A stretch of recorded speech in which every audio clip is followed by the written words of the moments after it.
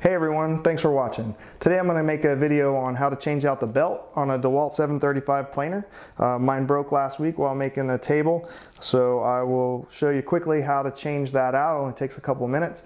Um, while I'm here, I'll go ahead and change out the blades as well, and I'll show you how I did that. Um, so if you think this video is useful, please hit like. And um, if you like the videos that I make, please subscribe to the channel. I will also post a link to the belt and the blades that I used in the description of the video. So let's get started.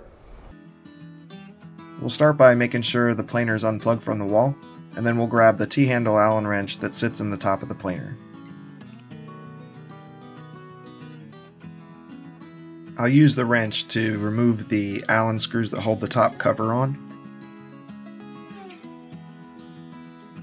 I'll also remove the adjustment wheel on the side, the side cover, and the little vent on the top, that's where the motor pulley is.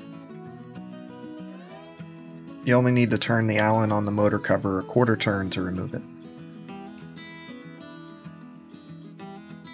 Now I can remove the old belt and clean up all the debris.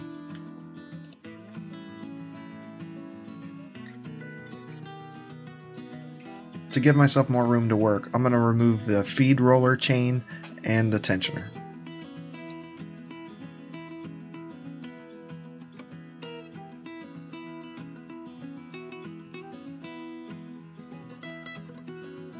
Next I can route the new belt around the motor pulley. To install the belt on the cutter head pulley, I will push the belt on as far as I can then I can hold the belt in place while attaching a socket to the bolt on the end of the cutter head.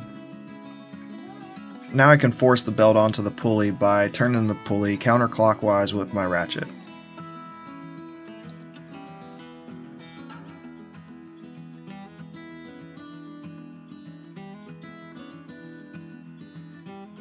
Now I need to check the motor pulley to make sure that the belt's still all the way on. If it's not, if it came off a little bit, I can adjust that by pushing the belt in towards the pulley and then rotating the cutter head pulley. Once the belt's on, I can reinstall the feed roller chains and the tensioner.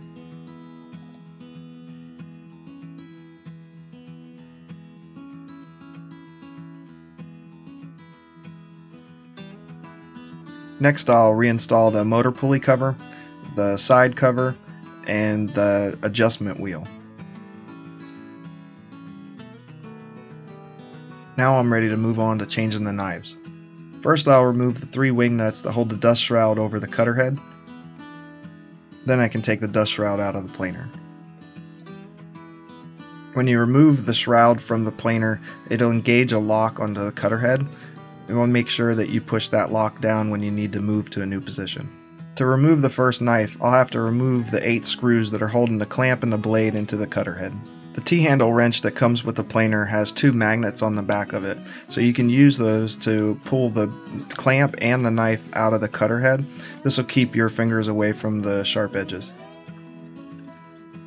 And here's the factory replacement knives I'm going to install. Before installing the new blades, I'll make sure that the cutter head's clean of any sawdust or debris. I use the T-handle wrench provided to also install the new blade.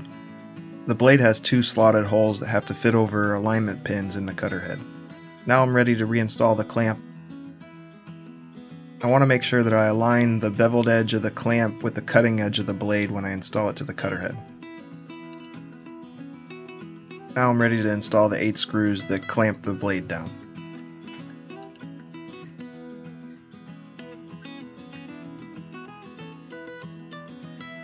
Now I can disengage the lock, move the cutter head to a new position, and change out the remaining knives.